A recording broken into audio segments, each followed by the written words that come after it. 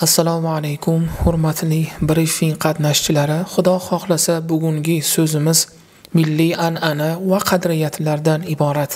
Dunyoda o'zining milliy qadriyati milliy an'anasi bo'lmagan biror bir xalq bo'lmasa kerak. Bir xalqning qanday maqomda qay holatda ekanligini bilishlik uchun avvalo uning milliy an'anasi uning qadriyati uning ma'naviyatiga qaraladi. Har bir inson uchun insoniyat uchun bir ahamiyat kasb etgan milliy urf odatlarimiz milliy an'analarimiz nazarda tutiladiki mana shu orqali insonlar o'zligini taniydilar. Har bir inson bugun mana shu milliy an'ana va urf odatlari bilan odamlar unga baho beradilar. Odamlar uning mana shu urf odatlari an'ana va marosimlardan kelib chiqqan holda ularga bir bahoni beradilarki mana shu holatda har birimiz o'zimizni ota bobolarimizdan ajdodlarimizdan qolgan urf odatlarni asrab ularni doimo kelajak avlod uchun xudo xohlasa olib borishlik harakatida bo'lishligimiz har birimizning bugun vazifamizdir.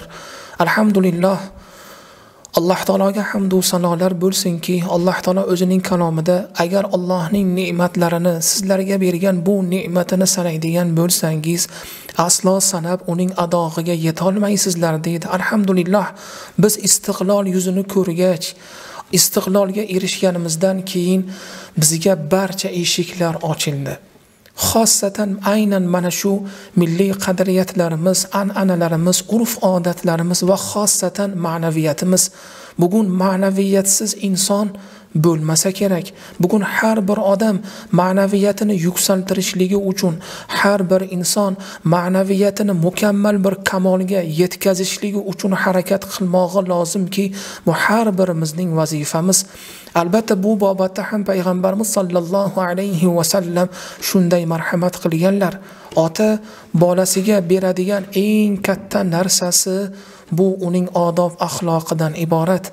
Demak har birimiz bugun ma'naviyat darajasiga ma'naviyatimizni yuksaltirish darajasida harakat qilar ekanmiz.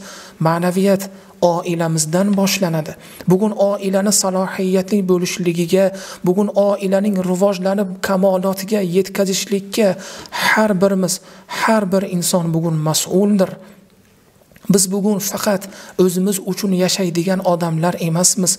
Bugun xalqimiz uchun vatanimiz uchun millatimiz uchun mana shu qadriyatlarimiz uchun ham yashaydigan insonlarmizki bu bizdan bizdan qoladigan yagona narsa ham aynan shundan iborat.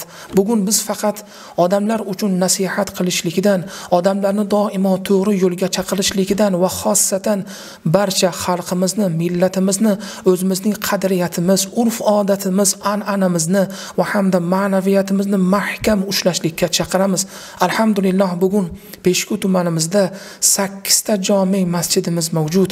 Alhamdulillah bugun hammasi keng ko'lamda obodonlashtirish ishlari masjidimizdagi faoliyati ham zo'r maqomda ekanligi tamomila aytganda bugun masjidlardagi bo'layotgan holatlar qadriyatlarimiz obodonlashtirish ishlari alhamdulillah bugun xosatan yurtboshimiz tomonidan bizga berilgan bu katta imkoniyat hokimiyatimizni yordam yordami bilan inshaalloh va hamda boshqa bir homiylarimizni yordami bilanki bugun biz alhamdulillah odamlarga bu narsani bemalol ayta olamizki alloh taolo bizga bergan bu ne'mati shunday ekan bu ne'mat uchun har bir har birimiz har bir inson mas'uldir. Alloh taolo bu uchun ham har birimizdan inshaalloh buning hisobini so'raydi. Shunday ekan alloh taolo iloho yurtimizni farovon qilsin. Allohim yurtimizni tinch qilsin. Bu milliy an'ana va qadriyatlarimizda bardavom bo'lishligimizni va hammamiz har bir inson bu yurtda ma'naviyati mukammal inson bo'lib odamlarga ibrat o'laroq har bir inson namuna oladigan andoza oladigan insonlardan bo'lishligimizni parvardigorimiz hammalarimizga muyassar aylasin. Rahmat e'tiborlaringiz uchun.